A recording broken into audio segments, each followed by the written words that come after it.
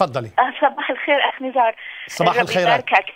آه، ربي يباركك. اللي بدي اقوله انه المسلم يتجرأ أن يسأل ب- بالمسيحية ولكن يجبن أن يسأل بالإسلام. ما بيسترجي آه، ينظر إلى إلى القدى في عيني ولا ينظر إلى الخشبة في عينه.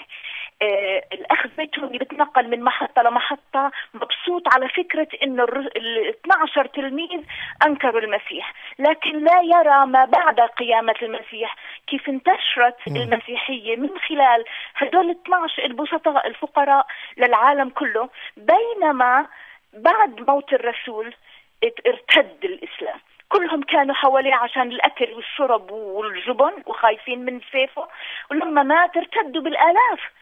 هذا الشيء ما بينتبه له. وبعدين ما بيعرف إنه خلفية التلاميذ في هذيك الأيام كانت ينتظروا ملكوت أرضي.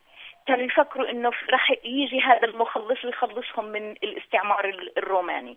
فأنا بترجى من الأخ زيتوني يفهم أكثر ولما بده يسأل يعرف إيش بيسأل لأنه بتجرأ على المسيحي وبيسال لكنه ما بيقدر يسأل شيوخه و... ويعرف. الرب يعطيهم مم. فتح بصيرة يتعرفوا على المسيح أوكي. ويعرفوا آه، الحق وينه. لأنه بدون هذا الإله إحنا إحنا ضايعين إحنا في جهنم أكيد 100% أوكي. الرب يباركك شكرا كثير كثير.